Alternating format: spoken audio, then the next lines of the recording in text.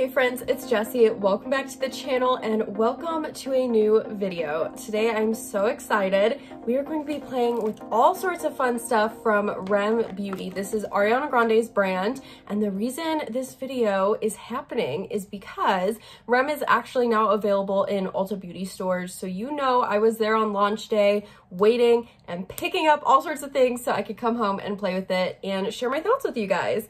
So I do have quite a bit of the collection. I have two of the eyeshadow palettes. Um, I have a couple of the eyeliners. Uh, this is like a cheek lip duo, uh, a lipstick. Of course, we have lashes. Some of these, these are interesting. These are like lip tint pens.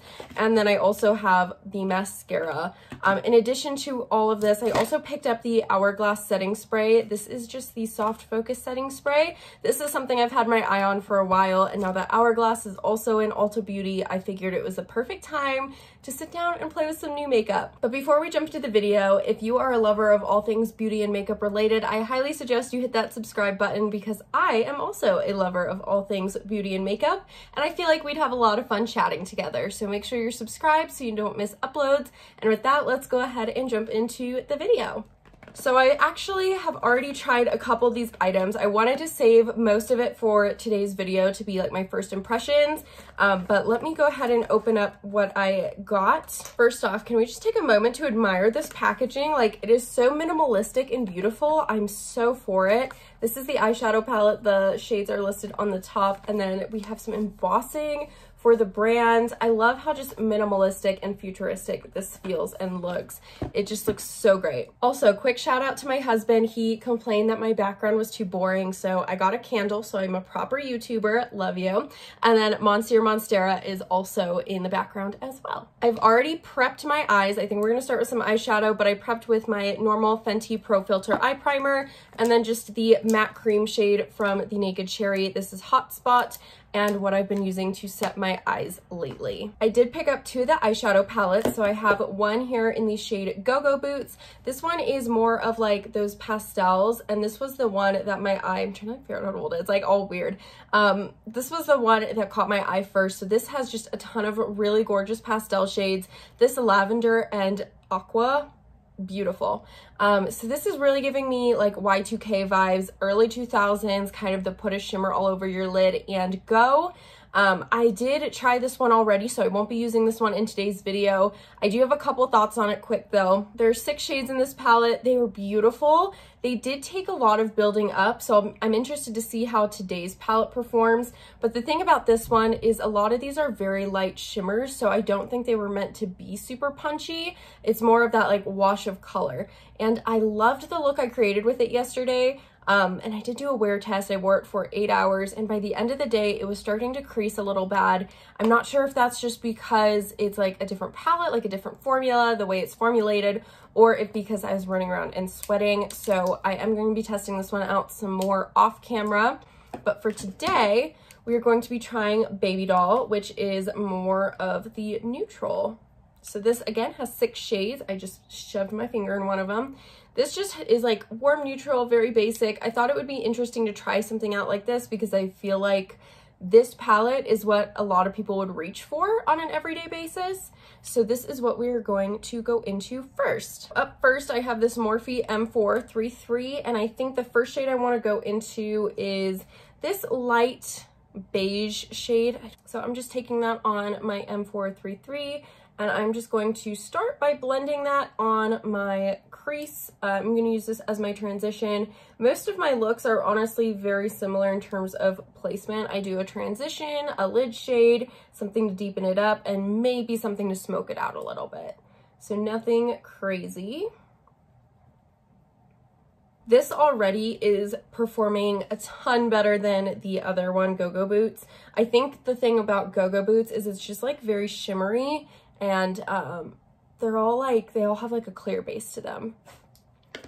So there was a tiny bit of fallout, nothing insane. Fallout personally doesn't bother me, but I know that is a huge deal breaker for others, so I just wanted to mention that. Next, I'm taking a Morphe M456, and we are hopping into this second deepest shade. Uh, according to the box, this one is the shade Bokeh Mocha. So I'm just taking this one and blending that up into the transition shade just to give a nice soft transition. I'm just going for a very basic everyday look here, nothing crazy. Can you hear the wind like rattling my doors? It's so frustrating. So I am just buffing this Boca Mocha shade, Boca Mocha. I'm just buffing Boca Mocha into the transition. I'm gonna find like every excuse to say Boca Mocha today. It's just so fun. That's gorgeous. Very, very natural. I feel like it's picking up more subtle on camera, um, but in person, I feel like it's a quite nice blend quite like it. So next I'm gonna go ahead and take, this is a Morphe M506 and I'm hopping into this deepest shade right here, Espresso. And this I'm going to be using in my outer corner. I'm gonna just deepen that up a little bit into a V. I'm, I'm obsessed. I will be honest, I was a little bit nervous after trying Go-Go Boots yesterday. I was like, girl, this just ain't it. But I think Miss Baby Doll redeemed it. It's looking good. I'm, I'm impressed. Next, I want to try one of the shimmers. Uh, my goal is to use everything in this palette. So I'm going to try this deeper bronze shimmer. This one is Biscotti. And I'm going to do that on my Anastasia brush. This just comes in all of the palettes. And I'm going to spray this down with some Fix Plus real quick. This is just my standard routine for shimmers. I'm not doing it to make it work better. This is just how I do my shimmers every day. And I'm just taking this and popping it on the lid. I'm so glad I tried the other palette first and not this one because if I tried this one, I would just have such high expectations for the other one. But this is performing beautifully. Uh, I'm just quickly blending that all together, but look how pretty this is turning out, guys. I'm obsessed. Okay, I'm gonna go back into that 506 brush and espresso, and I'm just going to deepen up that corner a little bit now that we have the shimmer down, uh, just to blend everything together. This is looking fabulous, guys. Obsessed. Um, now I'm going to take that same brush. I'm going to use my color switch real quick if I can find it. I'm going to use that same ABH brush on just my color switch and then I'm going to Fix Plus it up again. And we're going to go into this lightest shimmer, uh, Sun Baby. I'm popping this in the inner third of my lid over the other shimmer we did, just to brighten it up a tiny bit. Something like that. Nothing crazy, just very subtle, natural. I do feel like these two shimmers are very, very similar. I'm gonna take a pencil brush real quick. I think this is from e.l.f. Uh, it says 202 on it. Um, I'm to do some lower lash line work. I'm going to jump into this light matte and then I'm going to use this second deep matte um, and just kind of pencil that into my lower lash line. I'm going to take this cream shade on just a fluffy blending brush and I'm just going to kind of buff those bottom two shades together just to make sure there's no harsh lines. Last thing I'm to do is I'm to take that matte cream shade again. This is called Sweetheart. I'm going to brush that under my brow bone and pop it into the inner corner real quick. Let me move over so you guys can see my pasty arm, but this is Baby Doll swatched and this one is Go-Go Boots swatched. Go-Go Boots is definitely a lot lighter. It is more of those shimmers. Um, the colors I used yesterday were this light one and then these two. Um, and then I think I also use like one of these. So this one is definitely lighter and takes a little bit more work to blend and work with, whereas Baby Doll is going to be your more user-friendly. They swatch beautifully though, as you can see. So I do have two different eyeliners. I have a uh, At the Borderline Kohl Eyeliner Pencil, and this one I just got in the white shade. It's called So Mod. Um, I did try this one yesterday and I feel like I had a weird reaction to it, but I'm trying not to take any of that too serious yet because I have been trying the Melt Gemini 2 palette and I did have um, some weird reaction to, I think, one of the red pigment shades in there. So my eyes are a little sensitive right now. Probably not the best day to be trying some new uh, makeup. But the other eyeliner I got is the At the Borderline eyeliner marker. So this is the uh, like liquid eyeliner. So I definitely want to try both of these. I have not tried the liquid liner yet. So I'm going to take the white eyeliner pencil and I'm just going to line my lower waterline with that. I don't even know if you can tell I'm so pasty white, doesn't do much. Just first, I guess this is second impressions on this one. This is not my favorite eyeliner pencil. I do really like the gel or like the cream liner pencils from ColourPop. They have a white one called Exit and that one is my holy grail. It's definitely not bad. I just feel like there's better options out there. But now the real test is the liquid liner. I'm to do a quick wing.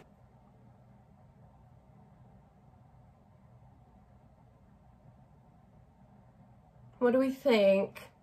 I have to say, I love how precise this tip is. It is so pointy. You can get the finest lines with this one. It's actually insane. It's a good liner. I mean, I haven't tried it, like wear tested it, but so far, just from first impressions of this one, I actually really like this liner. Uh, and I was hoping I'd like it because I don't have time to go get my normal liner before I go out of town. So this is going to be getting me through the next couple weeks in California, but I really like it so far. I cannot make my wings even to save my life. It's actually my toxic trait. This is the eyeliner. This is the look so far. I'm very impressed by what I've seen. I do have the mascara and lashes to try. So let's go ahead and pull out the mascara. They did have two different types of mascara, a lengthening or volumizing. I did get the lengthening because my eyelashes are very helpless in the length department.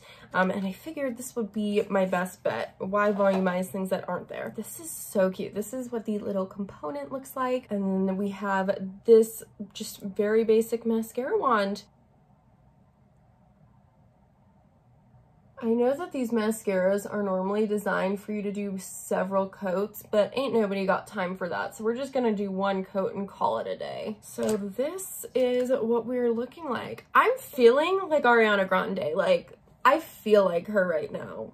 I love it. I love it. So far, not my favorite mascara. Definitely not counting it out though. It is beautiful. I do have some lashes. Let me pull out my scissors so we can trim those to size. These are like literally the scissors I had in first grade. Like she had two different pairs. One was more um, like thick and voluminous and these are definitely the more natural of the two. Not that they're that natural, but more natural of the two. These are in the style Provocateur. I accidentally glued my lash to my desk. It's fine. We're having a great day. Something to be aware of uh, that I'm noticing is these lashes are shedding a lot as I pull them out of the box.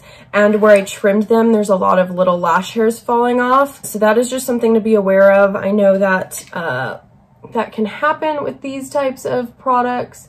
Look how pretty these lashes are. I I love them. This video is just turning out to be way better than I anticipated, so go us. Now that we have eyes done, let's go ahead and jump into the cheek product. I got, this is the cheek and lip balm in the shade Stage Mom. I only got one shade because I do have a lot of cream blushes already, and I didn't want to overlap. This one seemed to be very peachy, and I know that that is very in right now. First off, look at this fun package packaging. Like, it literally looks like an astronaut. And then we have the product itself.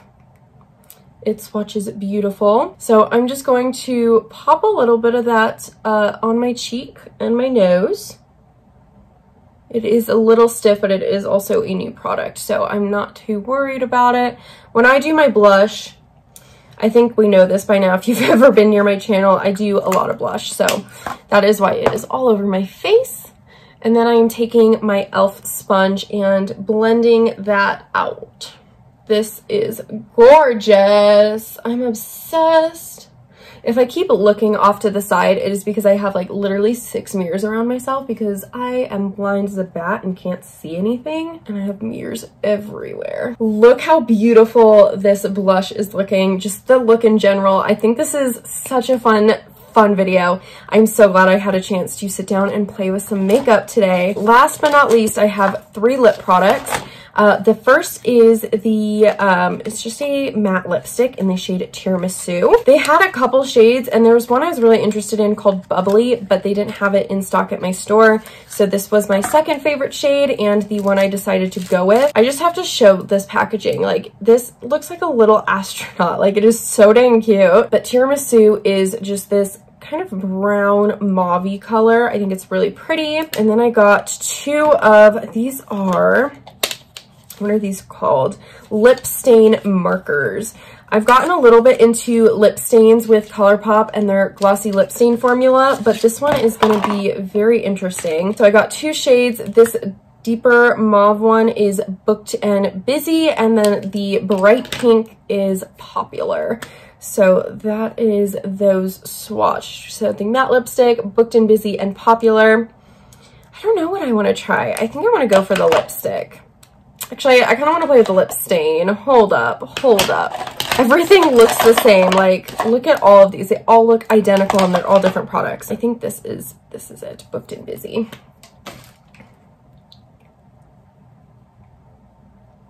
So this is just supposed to give you a nice natural tint to your lips. It's not supposed to be very overwhelming. I feel like I did this completely wrong because this is so patchy. I've never seen a product like this, so I'm not really sure how it's supposed to perform. I do feel like it's pretty patchy right now though, and it does feel a little bit drying on the lips. So I'm actually gonna go over this with the matte lipstick. It was worth a try though, and I'll probably be playing with those off camera some more.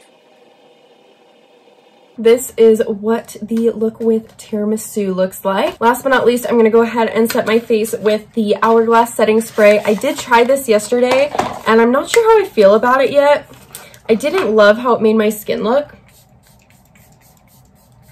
Okay, friends, this is the final look using all of the Rem Beauty products that I picked out today. I'm very excited that I got to sit down and play with some new makeup. And honestly, I had very low expectations for this. I know that sounds so bad, but just off my experience with the palette yesterday, I wasn't a huge fan. Now actually experiencing the products and trying them and getting to see like what's out there, I'm actually really happy with it. I think for the price point, the products are great.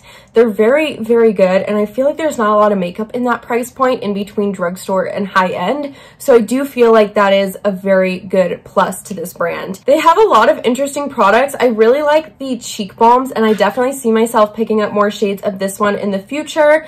And then also the lip stain pens. Wait, that's not the lip stain. And also the lip stain pens. I've never seen anything like this ever. So I am excited to kind of see other people's uh, product reviews and seeing how to use these. I feel like I might have just been doing it wrong and that's why it was showing up patchy, but this is such a unique concept. And then of course, just the packaging in general, like all of the packaging is so fun and cute. I think it is amazing. That is all for today's video, friends. Thank you so much for joining me in today's video and chatting with me about some new makeup. Let me know if you've tried anything from Rem Beauty and what you want to pick up. I want to know everybody's thoughts on it. It's it's so fun to see like a new brand on the market and seeing them do so well so early on. So let me know what you guys think and I'll see you guys all in the next one. Bye, babes.